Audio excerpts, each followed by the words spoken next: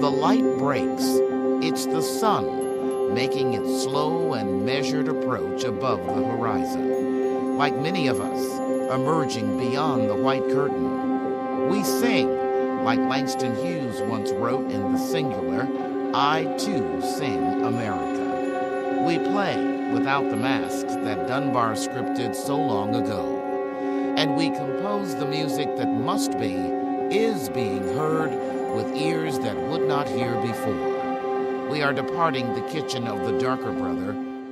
This is the tomorrow, and the table is set. Welcome to Classical Music in Color. I'm Judlyne Gibson.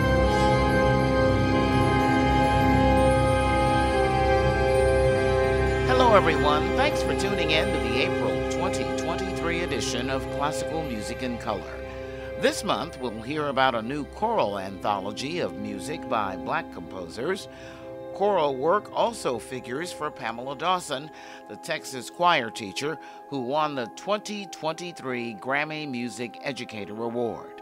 There's a couple of competitions looking for applicants, and King Charles III is commissioning several Black Britons to write music for his upcoming coronation.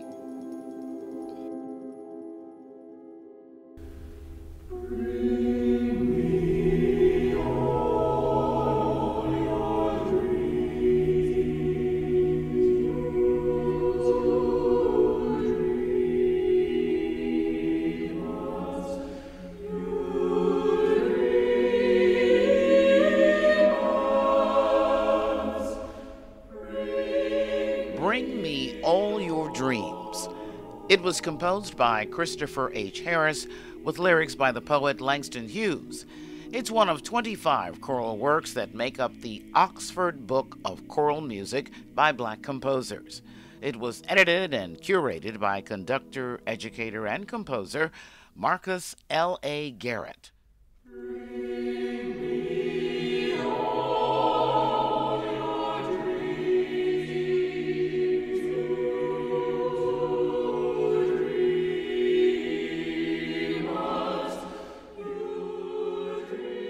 Music covers several centuries, from the 16th century to the present day. Some of the other composers represented are Vincente Lusitano, Florence Price, and Nathaniel Dett, along with living composers including Zanaida Robles, B.E. Boykin, and Robert A. Harris. Garrett's aim is to address a historical lack of representation of black musicians and composers in the choral canon.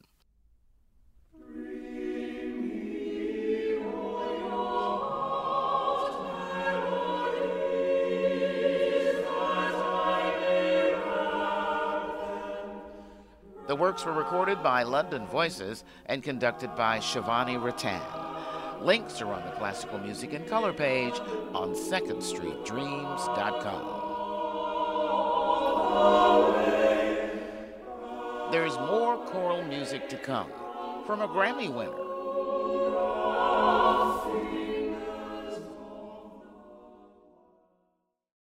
This is the DeSoto, Texas High School Choir. Been a walking.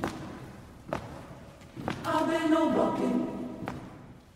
They are led by Pamela Dawson, who won the 2023 Grammy Music Educator Award. She's been teaching at the school south of Dallas for 27 years. This year's win came after Dawson made it to the top 10 two years ago. She was reluctant to apply again. Then I was renominated by another parent this year and actually was not going to go through the process because I was like, ah, I did it a couple years ago. And, you know, it's kind of a process. You got to do these videos. And I'm like, ah, I don't think I want to do it. And my student said, Hey, Miss Dawson, you're an amazing teacher. Go ahead and try it again. And I was like, I guess I didn't want to get to that top 10 status and lose it again. And um, I went on ahead and applied, and look what happened. She won and went to the Grammys. Wow, that was exciting. Oh my God. I walk in and I'm like, they're escorting me to the front row. And I was like, front row, you know, like, here's your seat right here. Miss Pam, what can we do for you? And I'm like, oh my God. I was just like watching people come in and I was like, there's Adele. Oh my God. Okay. And I'm I'm sitting there and my mouth is falling open. Like the the one that was really great when I saw The Rock. Okay, when The Rock came in to surprise Adele, I just kind of lost it a little bit.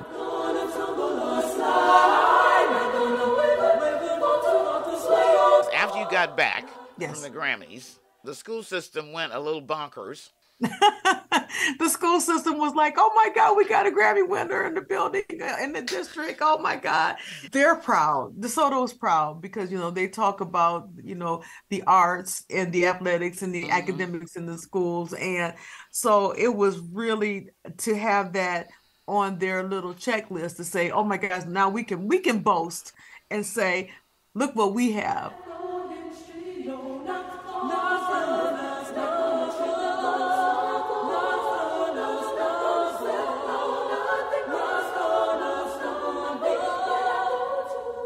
Why is it that you think that they were encouraging you to do this? because they they told me they're like you are the best choir teacher out there and you deserve to win a Grammy. And they were like, don't, that's what they told me. They're like, you are the best.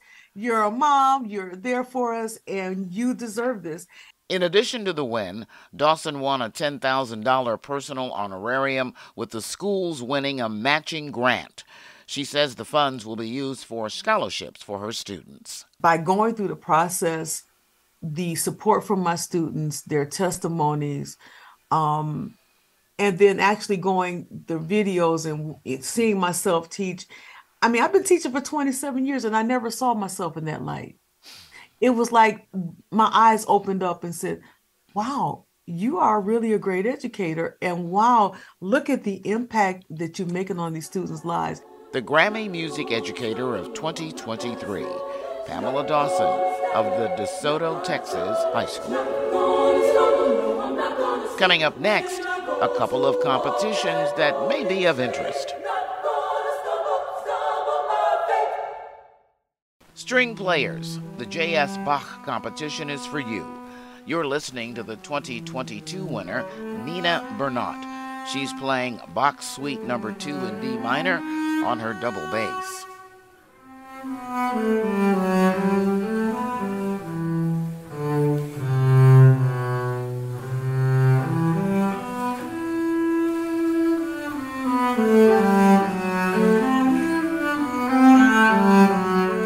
Applications are open now for string players ages 16 to 30. You must perform works by Bach for unaccompanied bowed string instruments.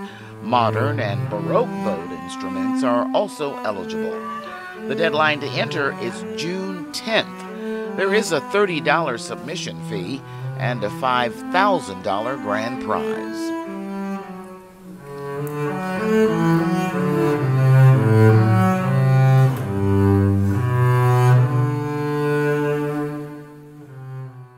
The American Composers Forum is inviting composers to enter their spring national call. Innova Recordings, the in house recording label, is looking for projects representing a variety of musical approaches. The deadline to apply is April 28, 2023. Our coda this month is all about the May 6th coronation of King Charles III of England.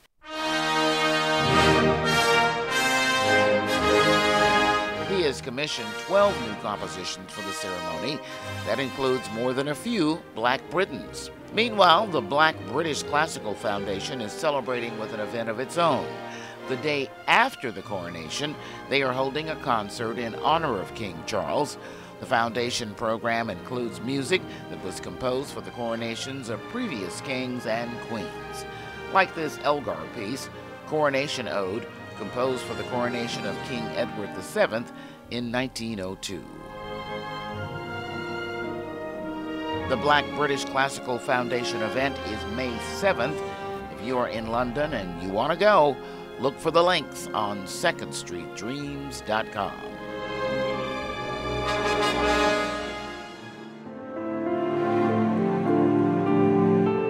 We are the Second Street Dreams Audio Network, emerging beyond the white curtain. We're on the radio and on the Triple W.